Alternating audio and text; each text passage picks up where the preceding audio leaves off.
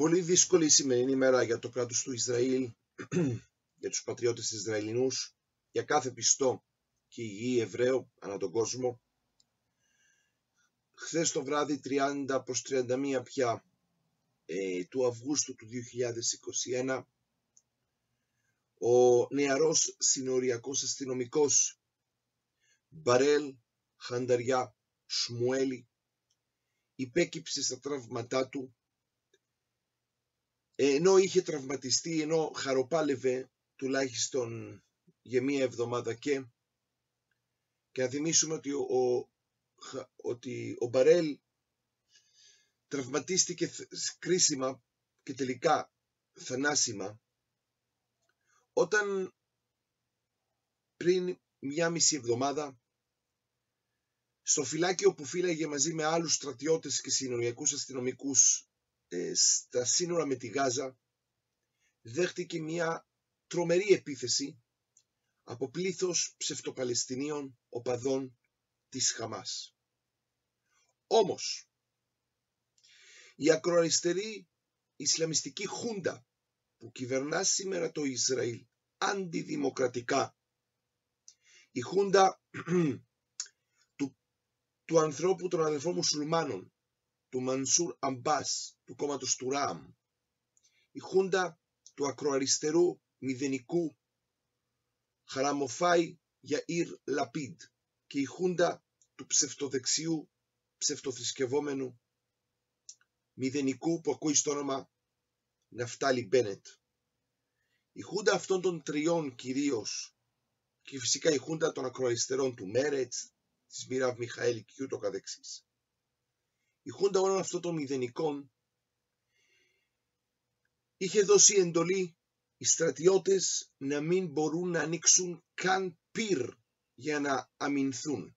Μην και τυχόν χτυπηθεί κανένας ψευτοπαλαιστίνιος.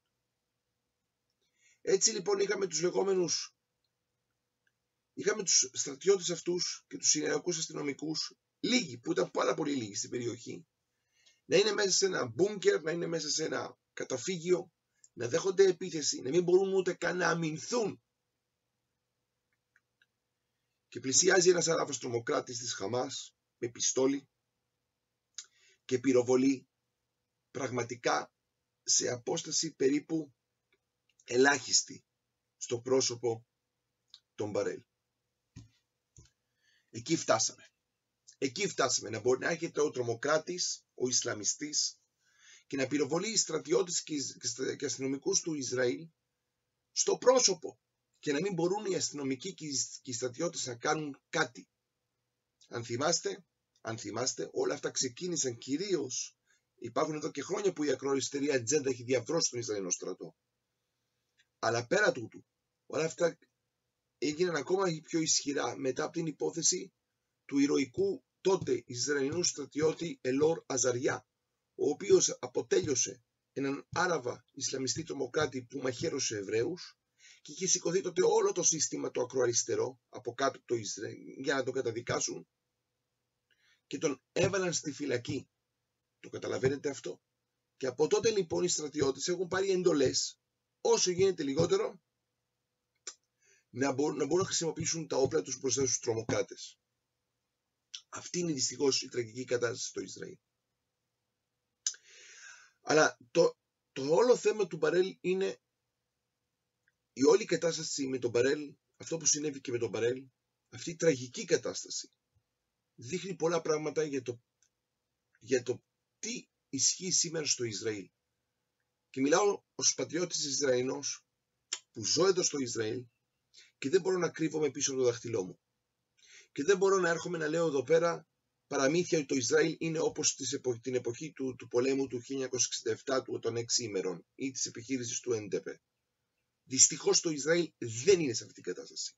Και γιατί δεν είναι σε αυτή την κατάσταση, γιατί ο λαός συνεχίζει να είναι πατριωτικός, ο λαός συνεχίζει να θέλει να είναι πρώτος στην πρώτη γραμμή για να υπερασπιστεί τα πάτρια εδάφη και τον εβραϊκό λαό. Όμως υπάρχει ένα ακροαριστερό παρακράτος έθνο μηδενιστών, τα πιόνια τους Σόρο, που σήμερα μάλιστα έχουν πάρει και αντιδημοκρατικά και την εξουσία της κυβέρνησης.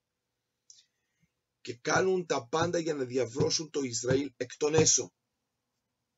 Έχουν διαβρώσει τον Ισραηλινό στρατό, έχουν διαβρώσει την Ισραηλινή αστυνομία, έχουν διαβρώσει τις μυστικές ε, ε, υπηρεσίες του Ισραήλ.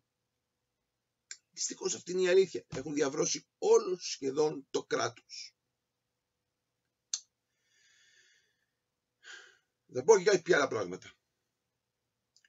Ούτε ένας από τους βουλευτές και υπουργούς και τον ίδιο τον ψευτοπρωθυπουργό του Ισραήλ, τον Ναφτάλι Μπένετ, που ήξερε τώρα να τρέχει σαν σκυλάκι στον, στο αφεντικό του, τον liberal, τον Ισλαμολάγνο Biden. Λοιπόν, ούτε ένας από αυτούς, ούτε ο Υπουργός Εξωτερικών, το μηδενικό που ακούει στο όνομα Ιαΐρ Λαπίδ, ούτε ο Υπουργός ε, Αμήνης, που ακούει στο όνομα Μπένι Γκάντς, κανένας από αυτούς τους τυπάκους δεν ήρθαν καν ούτε μία μέρα να επισκεφτούν την οικογένεια του Μπαρέλ Σμουέλη στο νοσοκομείο που χαροπάλευε. Όχι μόνο αυτό, όχι μόνο αυτό. Ένα τηλεφωνηματάκι πήρε μόνο ο Μπένετ, το μηδενικό Μπένετ, στην οικογένεια του Μπαρέλ Σμουέλη για να τότε, ε, για, για να μιλήσει με τον πατέρα του τραυματισμένου αστυνομικού. Δεν ήξερε καν το όνομα του αστυνομικού. Χασμουριόταν, μιλούσε νοχελικά, δεν ήξερε τι να πει. Με αποτέλεσμα να σηκωθεί ο πατέρας και αυτή η συζήτηση, αυτή η τηλεφωνική συζήτηση διέρευσε στα μέσα μαζικής ενημέρωσης τελικά. Να σηκωθεί ο πατέρας του Μπαρέλ Χανταριά Σμουέλη, ο Γιώση Σμουέλη και να πει κατάμουτρα στο μηδενικό ψευτοπρωθυπουργό του Ισραήλ να φτάλει Μπένετ ότι είναι ένας δηλός, ένας παχντάν όπως τον είπε. Ένας δηλός που τρέμει την σκιά ακόμα του αρχηγού του κόμματος των αδελφών μουσουλμάνων, του Ισλαμιστή Μανσούρα Μπάς και που τρέμει τους ακροαριστερούς μέσα στην κυβέρνηση για να μην θυχτούν οι Ισλαμιστές και οι ακροαριστεροί δεν έκανε ούτε καν τίποτα το σοβαρό εναντίον της Χαμάς ο Μπένετ. Λοιπόν, αλλά ακριβώς μέσα στην εβδομάδα που χαροπάλευε ο Μπαρέλ Σμουέλη, ο αστυνομικός, ξαφνικά πέθανε ένας από τους βουλευτές και μέλος της κυβέρνησης του Ισλαμικού, του ακροφανατικού Ισλαμικού, αντισιωνιστικού, αντιισραηλινού κόμματος του ΡΑΜ που είναι το κόμμα των αδελφών μουσουλμάνων μέσα στην κυβέρνηση σήμερα στο Ισραήλ. Όταν αυτός πέθανε, ένας φανατικός Ισλαμιστής έτρεξαν κατευθείαν όλη αυτή η Σάρα και η Μάρα της ψευτοϊσραηλινής αυτής κυβερνησούλας, αυτής της Χούντας, όπως ο... όλοι αυτοί, και ο Γιαήρ Λαπίτ και όλοι αυτοί, να πάνε στην κηδεία του Ισλαμιστή φιλοτρομοκράτη. Εκεί ήξεραν να πάνε. Εκεί ήξεραν να πάνε. Στο νοσοκομείο που χαραπάλευε ο αστυνομικός δεν ήξεραν να πάνε. Και είχαμε έναν Γιαΐρ Λαπίντ, ένα κακομαθημένο μηδενικό χαραμοφάι που δεν έχει κάνει τίποτα σοβαρό στη ζωή του, ούτε κάνει σωστή στρατιωτική θητεία και έχετε και μετά και κατηγορεί τους θρησκευόμενους και υπερορθόδοξους Εβραίους και καλά ως παράσιτα τη στιγμή που αυτός είναι ένα παράσιτο. Λοιπόν, έρχεται αυτός ο, ο Γιαΐρ Λαπίτ, ο ακροαριστερός, στην κηδεία του Ισλαμιστή, του φανατικού, του φιλοτρομοκράτη και λέει ότι έπεσε στη μάχη.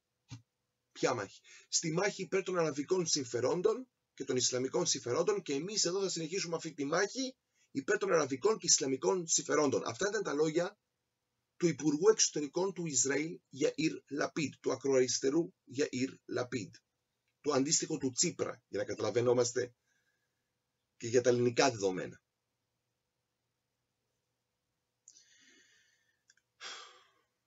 Ένα Ιαΐρ Λαπίδ που δεν είπε ούτε μια κουβεντούλα για τον Μπαρέλ Χανταριά Σμουέλη, τον τραυματισμένο τότε Ισραηλινό αστυνομικό, συνοριακό αστυνομικό. Αυτή είναι η κατάσταση στο Ισραήλ σήμερα. Γι' αυτό εμείς ευχόμαστε, την, σύμφωνα πάντα με τον νόμο, την γρήγορη πτώση αυτής της, Ισρα... αυτής της ακροαριστερής Ισλαμικής χούντας που κυβερνά σήμερα αντιδημοκρατικά το Ισραήλ και δυστυχώς το αίμα, το αδικοχαμένο αίμα του νεαρού Μπαρέλ Χανταριά Σουμουέλη είναι πάνω στα χέρια αυτής της χούντας. Είναι πάνω στα χέρια των ακροαριστερών στο Ισραήλ. Είναι πάνω στα χέρια των Ισλαμιστών φυσικά στο Ισραήλ. Αλλά είναι και πάνω στα χέρια των ψευτοδεξιών Στυλ Μπένετ. Αυτή είναι η υπεύθυνη για τον θάνατο, τον βασικό θάνατο, όχι μόνο οι Ισλαμιστές τρομοκράτες, για τον θάνατο, όχι μόνο η Χαμάς, για τον θάνατο και τη δολοφονία του Παρέλ Χανταριά Σμουέλη. Πλήθος όμως πατριωτών του Ισραηλινού λαού όλες αυτές τις ημέρες προσευχόντουσαν έξω από το νοσοκομείο για να, για, μήπως, μήπως υπάρχει ανάρρωση για τον Μπαρέλ και πλήθος πατριωτών Ισραηλινών το συνόδευσαν στην τελευταία του, στην τελευταία του κατοικία στο, στην κηδεία του. Πλήθος. Και συμπαραστάθηκαν στους γονείς του. Ήταν μοναχογιός παραπληπτόντος. Μοναχοπέδι. Στον Γιώση και την Νίτσα Σμουέλη. Αυτός είναι ο Ισραηλός λαός. Ούτε ένας όμως από αυτούς τους κυβερνώντες της ακροαριστεράς και των Ισλαμιστών. Ντροπή τους. Αιωνία η Άγια και Μαρτυρική Μνήμη του Μπαρέλ Χαντεριά Σμουέλη ήθε ο Κύριος να εκδικηθεί το αίμα του. Ασέμ Γικόμ Νταμό.